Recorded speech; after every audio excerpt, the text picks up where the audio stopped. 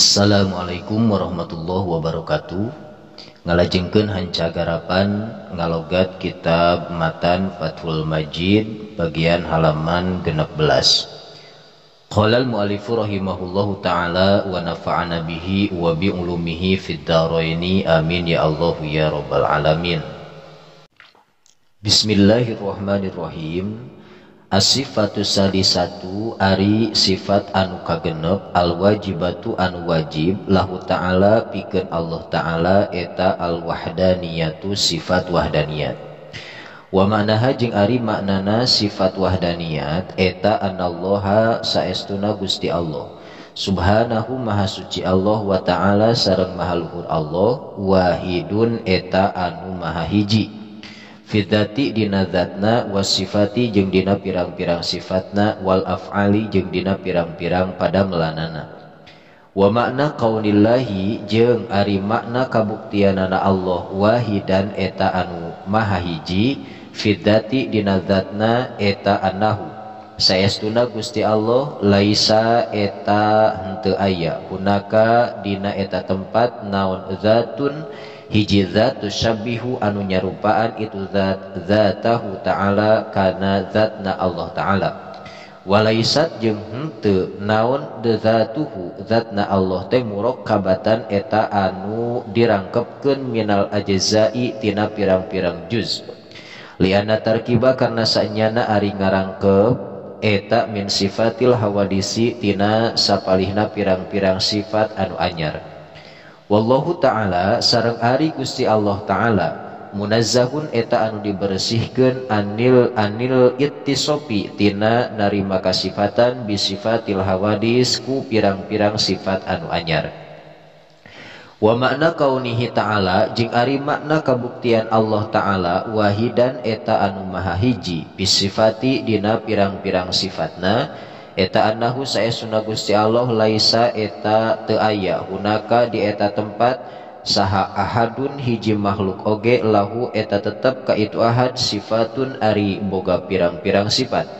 Tusabihu anu nyarupaan itu sifat sifatahu ta'ala kana pirang-pirang sifatna Allah ta'ala. Falaisa mangkah teu aya li ahadin pikeun hiji jalma naon kudrotun uh, sifat kudrot ka kudrotihi ta'ala seperti sifat kudrotna Allah ta'ala. Wala jeung teu naon irodatun sifat irodat ka irodatihi seperti sifat irodat Allah ta'ala. Ila akhiri sifati nepika tungtungna pirang-pirang sifat.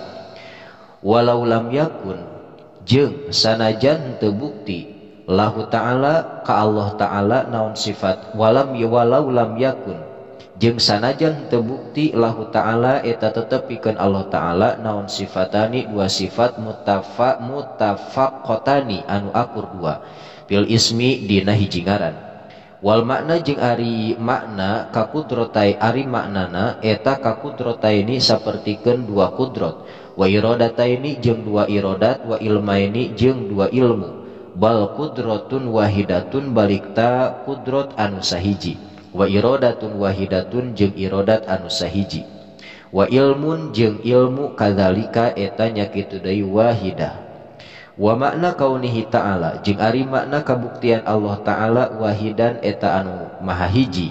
Fil af'ali dina pirang-pirang damelna eta anna jami al af'al. Sanyana ari sakabehna pirang-pirang padamelan. Lahu eta tetep uh, pikeun Allah azza wa jalla falaisa mangkah henteu aya eta tetep li ahadin pikeun hiji jalma minal makhlukoti ti pirang-pirang makhluk uh, fi'lu uh, fi'lun ari pagawean minal af'ali nyatana tina pirang-pirang padamelan sawaun kanat sarua bae bukti itu fi'lun eta ikhtiyariyatan bangsa ikhtiyari awid tiroriyatan atawa bangsa ittirori wa innamalahu jeung pastina eta tetepikeun Allah fil fi'li dina padamelan al ikhtiyari anu bangsa ikhtiar mujarradut mujarradul kasbi eta wungkul nakasab wa bihi jeung kalawan itu ikhtiyari yusibana yusiba ngaganjar na ka urang sadayana saha Allahu Gusti Allah bi fadlihi kalawan padolna Allah.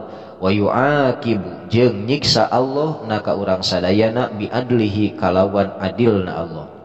Pajamiul af'al mangka ari sakabehna pirang-pirang padamelan lahu ta'ala eta tetep pikeun Allah ta'ala. Pal mukjizatu mangka ari mukjizat allati anu taqau anu tumiba itu lati ala aidir rusuli dina eh uh, ah, nguatanana pirang-pirang utusan alaihim.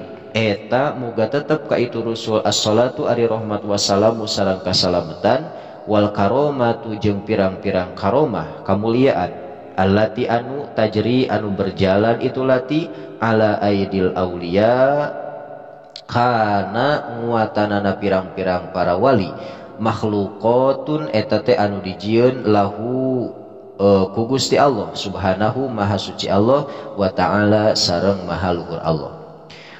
Wa idza sabata jeung di mana-mana geus tumetep lahu ta'ala ka Allah ta'ala naon al-wahdaniyatu sifat wahdaniyat intapat tah narima ubuh anhu ti Gusti Allah naon al-kamumu pirang-pirang kam al khamsatu anu lima al-masyhuratu anu masyhur.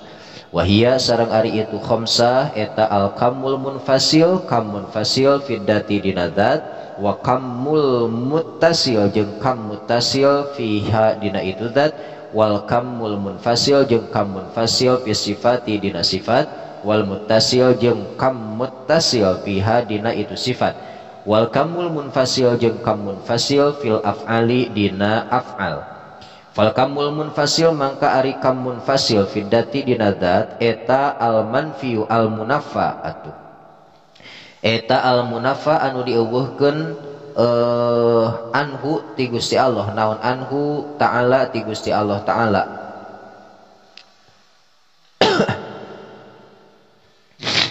Atau ulah gitunya eh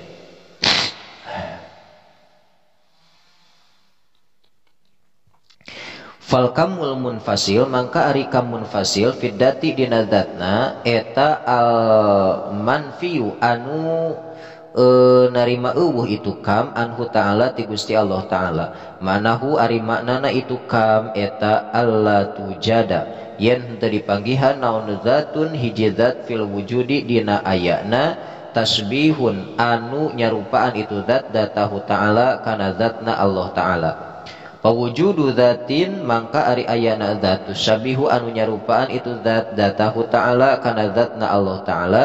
yukolu eta dibahasakan lahu pikeun itu zat naon al kamul munfasil kamun fasil fiddati dinadat wahwa jeung ari itu kamun fasil fiddat eta muntapin anu dieuweuhkeun anhu ta'ala ti Gusti Allah ta'ala. Wal kamul munfasil jeung ari kamun fasil fiddati dinadat al manfiu anu dieuweuh anu eu anu eh al manfiu anu al munafa anu dieuweuhkeun anhu ta'ala ti Gusti Allah ta'ala. Ma'nahu ari maknana itu kam munfasil fiddat eta antakuna yen kabuktian naon zatuhu ta'ala zatna Allah ta'ala murakkabatan eta anu dirangkepkeun min ajazain tina pirang-pirang juz. Katarkibi zawatina sapertikeun ngarangkepna pirang-pirang zat urang sadayana min lahmin nyatana tina daging wa udmin jeung tina tulang wa damin jeung tina getih wa ghairi dzalika jeung salianti itu nu kabeh. wahwa jeung Ari itu kamuntafin eta te anu dieuweuhkeun anhu ta'ala ti Gusti Allah ta'ala Aidon kalawan deui. Lianahu kana sanyana itu murakab eta min sifatil hawadis dina pirang-pirang sifat anu anyar. Wal kamul munfasil jeung ari kam munfasil fi sifati dina sifat eta al manfiu anu dieuweuhkeun eta al munaffa anu dieuweuhkeun anhu ta'ala ti Allah ta'ala. Manahu ari maknana itu kam munfasil fi sifat eta ayu jada yang dieuweuhkeun saha ahadun seorang oge lahu eta tetap kana ka itu si ahad naon sifatun pirang-pirang sifat.